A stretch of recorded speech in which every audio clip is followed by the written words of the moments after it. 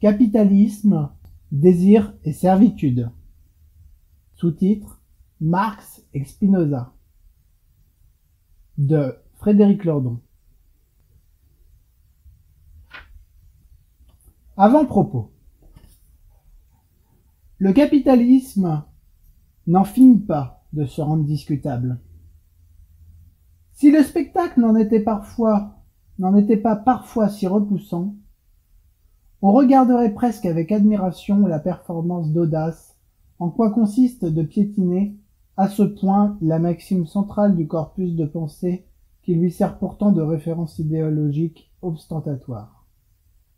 Car c'est bien le libéralisme, en l'espèce qu'ancien, qui commande d'agir de telle sorte que tu traites l'humanité aussi bien dans ta personne que dans la personne de tout autre toujours en même temps, comme fin, et jamais simplement comme un moyen.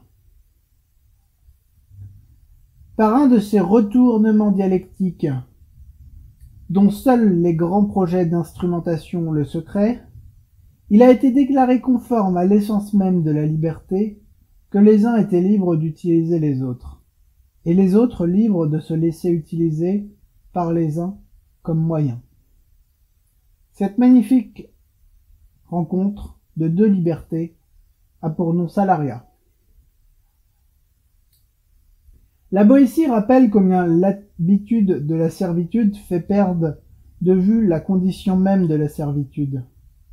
Non pas que les hommes oublieraient d'en être malheureux, mais parce qu'ils endurent ce malheur comme un fatum, qu'ils n'auraient pas d'autre choix que de souffrir, voire comme une simple manière de vivre à laquelle on finit toujours par se faire.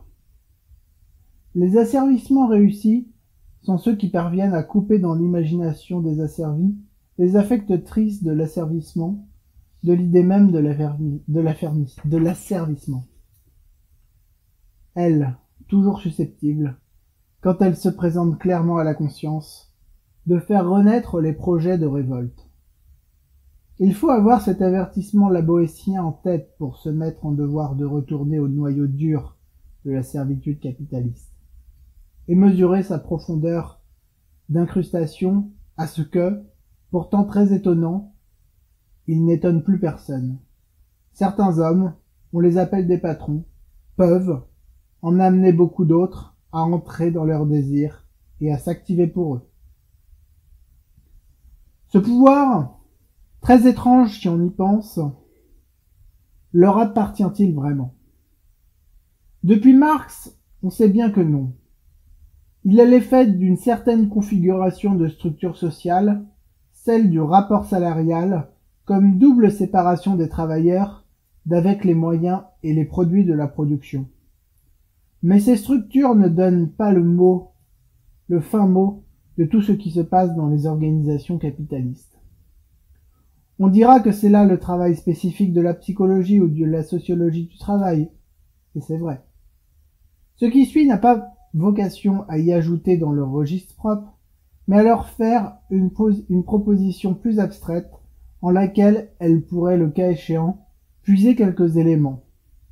La proposition de combiner un structuralisme des rapports et une anthropologie des passions. Marx et Spinoza. Assurément, ces deux-là se connaissent. Par commentateurs interposés. Leurs affinités sont légion ce qui ne veut pas dire qu'ils sont d'accord sur tout. Elles sont suffisamment fortes, en tout cas, pour que les, pour mettre ensemble, ne fassent pas courir le risque du bor intellectuel. Le paradoxe temporel étant que si Marx est postérieur à Spinoza, ça n'en est pas moins Spinoza qui pourrait maintenant nous aider à compléter Marx. Car dégager les structures, de la mobilisation capitaliste des salariés ne nous dit pas encore à quoi fonctionnent les structures, c'est-à-dire ce qui fait in concreto leur efficacité. Non pas le fantôme, mais le moteur dans la machine. La réponse spinoziste est les affects.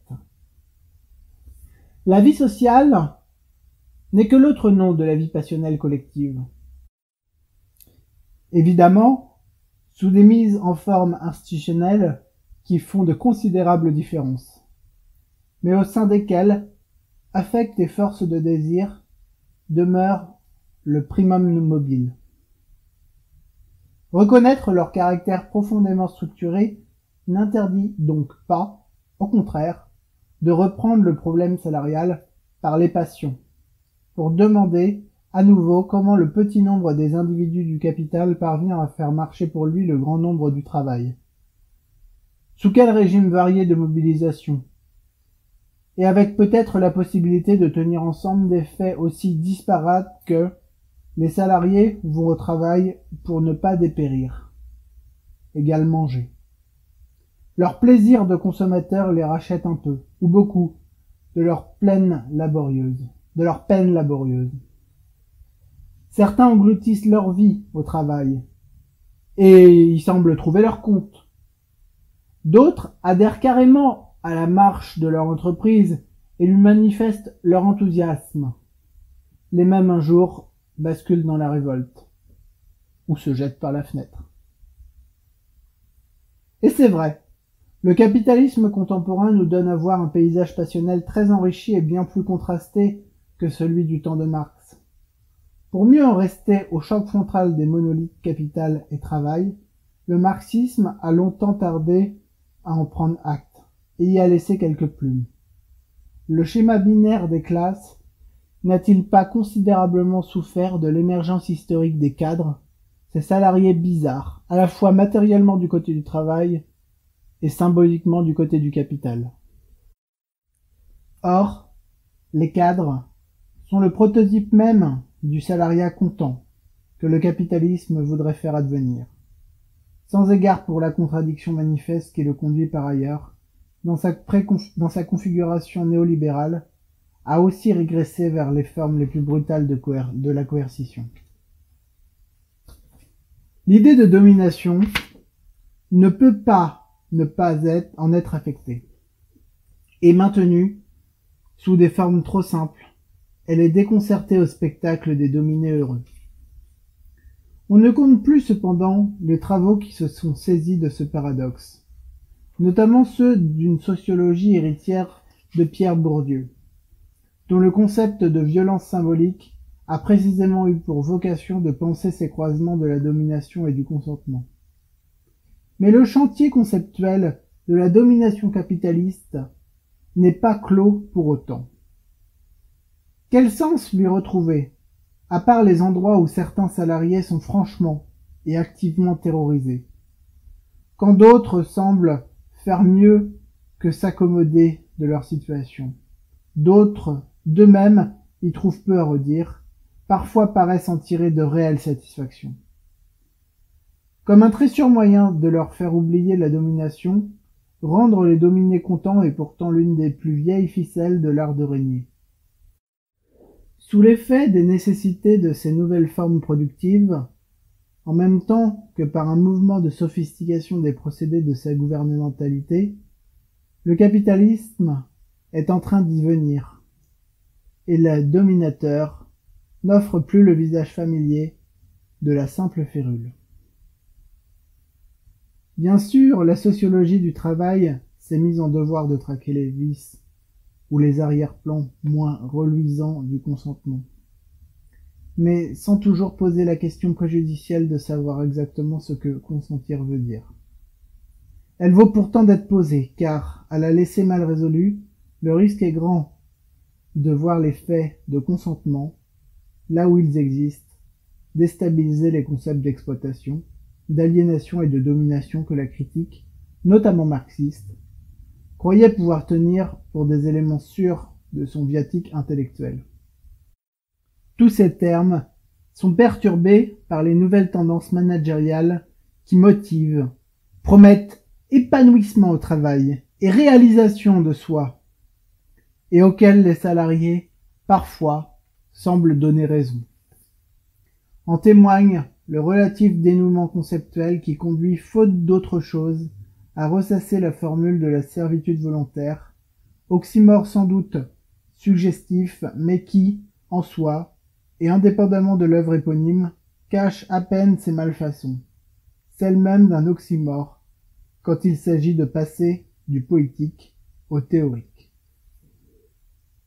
Se sentir mobilisé ou vaguement réticent, ou encore révolté, engager sa force de travail avec enthousiasme ou à contre-cœur, ce sont autant de manières d'être affecté comme salarié, c'est-à-dire d'être déterminé à entrer dans la réalisation d'un projet, d'un désir, qui n'est pas d'abord le sien. Et voilà peut-être le triangle élémentaire où il faudrait restituer le mystère de l'engagement pour autrui, en sa forme capitaliste, le désir d'un, la puissance d'agir des autres, les affects, produits par les structures du rapport salarial qui déterminent leur rencontre. En ce lieu où l'anthropologie spinoziste des passions croise la théorie marxiste du salariat, s'offre l'occasion de penser à nouveau frais ce que sont l'exploitation et l'aliénation c'est-à-dire finalement d'à nouveau discuter le capitalisme, quoique toujours au double sens de la critique et de l'analyse.